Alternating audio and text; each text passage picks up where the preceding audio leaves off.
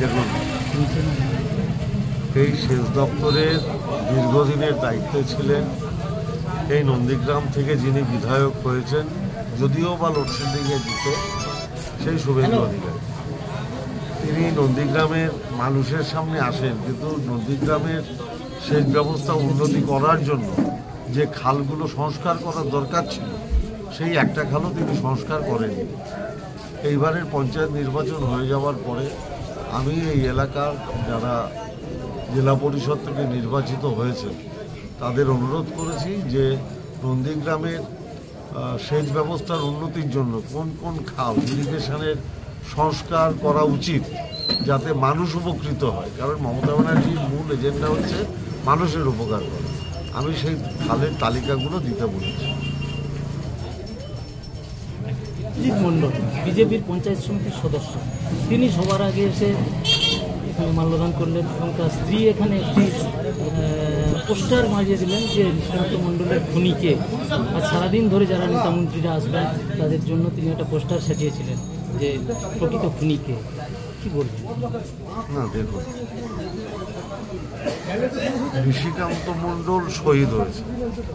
আমরা শহীদকে শ্রদ্ধা জানাতে এসেছি। এবার শহীদের পরিবারের পরবর্তীকালে কেউ কোনো না কোনো দলে থাকতেই পারে। তার মানে এই নয় যিনি শহীদ তিনি কারোর ব্যক্তিগত সম্পত্তি হয়ে যান শহীদ সবার এবং শহীদদের স্মরণ করার জন্যই আমার এখানে মূলত আসে।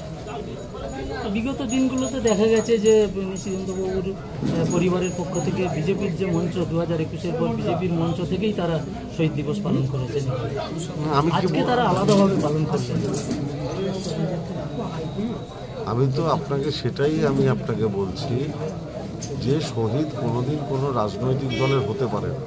ক্ষুদিরাম কোনো রাজনৈতিক দলের হতে পারে বিনয় বাদল দীনেশ কোনো রাজনৈতিক দলের হতে পারে নেতাজি সুভাষচন্দ্র বোস নিজে একটা আলাদা দল গঠন করলেও নেতাজি সুভাষচন্দ্র বোস সবার, গান্ধীজি সবার, অতএব শহীদ কখনো কোনো রাজনৈতিক দলের ব্যক্তিগত সম্পত্তি হতে পারে অতএব তাকে শ্রদ্ধা জানানোর জন্য যে কেউ যে কোনো পন্থা অবলম্বন করতে পারে। অন্যদিকে বিজেপি আজকে কটাক্ষ করে বলছেন যে তৃণমূল খুন সন্ত্রাসের রাজনীতি করে, সেই জন্যই আজকে অনেক নেতা মন্ত্রীকে খুন হতে হচ্ছে। খুন জখমের রাজনীতির সারা ভারতবর্ষ জুড়ে যারা মূল প্রবক্তা, তারাই তো ভারতীয় জনতা পার্টি। হাতরাস থেকে আরম্ভ করে সারা ভারতবর্ষ, মণিপুর থেকে আরম্ভ করে সারা ভারতবর্ষের সমস্ত জায়গায় এই যে এত মহিলা অত্যাচারিত হচ্ছে তার মূল নায়ক তো ভারতীয় জনতা পার্টি। উন্নয়ে যারা ধর্ষণ করছে, তাদের এনে মালা পরিয়ে দিচ্ছে। তার জনক তো ভারতীয় জনতা পার্টি। কেউ কথা বললে সাংবাদিক হোক, বুদ্ধিজীবী হোক, তাদের গুলি করে হত্যা করা হচ্ছে। এর মূল জনক তো ভারতীয় জনতা পার্টি। যারা সারা সারা ভারতবর্ষের বুকে বিদ্বেষের রাজনীতি প্রবর্তন করেছেন, তারা হিংসার বিরুদ্ধে কথা বললে মানুষ শুনবে না।